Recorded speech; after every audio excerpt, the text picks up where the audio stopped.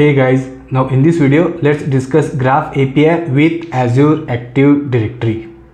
Now guys in simple words please understand that we can use Graph API to connect to Azure tenant from our C Sharp code. For example using Graph API we can read the users from tenant. We can invite new user from our C Sharp code. Now as far as this video is concerned we are not going to discuss or work with graph API yet. Instead, first we will understand below concepts in detail. That is, we will understand what is tenant and AD. Then we will understand what are the users in tenant. And then we will understand what is app registration in tenant and why it is used. See guys, imagine this is Azure Cloud and in this azure cloud there are many many tenants. So for example this can be one tenant. This is another tenant. This is another tenant. So all these are tenants. Now in simple words consider one tenant as one organization or one company. So for so for example, this can be a tenant for let's say ABC Technology Services. And this can be a tenant for let's say XYZ Consultancy Services. See guys, tenants, they separate the boundaries in between different customers of Azure Cloud. So guys, again, this is one tenant and this is for ABC Technology Services, right? So this is one of the customers of Azure Cloud then this is another customer of azure cloud that is xyz consultancy services. And you can see because we have tenants we have separated the boundaries for these tenants. So in simple words you can consider a tenant it is like a universe for that organization or for that company.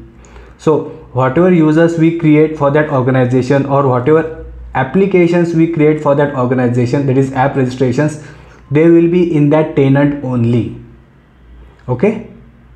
And one more thing guys. When we create a free account in azure using our gmail id even in that case one separate tenant is created for us. Let me show you that.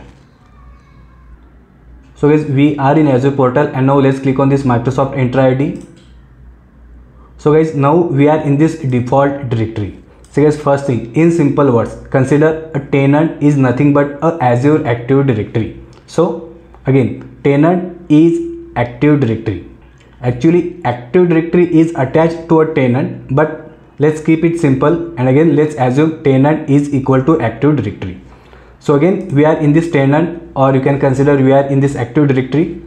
And guys if you see I have created this account with my personal email id that is harshal.jain.net right? So when I created this free account using my credit card Azure created a separate tenant for me. And you can see this is the tenant ID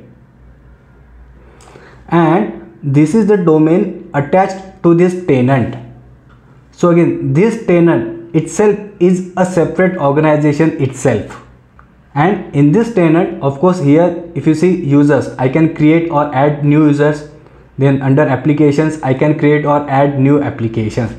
So again this is also a tenant and now guys let's discuss users in tenant so basically in simple words we can add users in this tenant so let's say we, we may have a user let's say Neil David Mark Phillips and like that. So these users that is the users from this tenant you can call it as the members of this tenant so these are members or users. So guys for example let's say if the domain for this abc technology services is let's say abcd.com then email id of this user that is neil david. It will be something like neil.david at the rate abcd.com right? So again these users they are the members of this tenant. And in simple words you can consider these are the employees of this organization. So is obviously the email id for these employees it will be at the rate abcd.com but then in this tenant can we add the users with gmail id that is the users with their personal email id yes so we can add the users with gmail id but then these users they will be added as guest users. So don't worry guys if you are not getting it at this point anyway we will see the demos of it in our upcoming videos. And now finally what is app registration right? So guys let's imagine this is our custom app or custom service and this custom service now it wants to read the users from this active directory. So to enable this custom service to work with this active directory that is to read the users from this active directory we use app registration. So basically what we do is we simply go to this tenant and we create something called app registration. So this will be app registration and now this app registration it will have something called client id and then for this app registration we add something called client secret as well. And then we simply configure this client id and this client secret within our custom service. And now you can imagine that this custom service it has now got the required access or required permission to work with this tenant. That is now it can read the users from this tenant.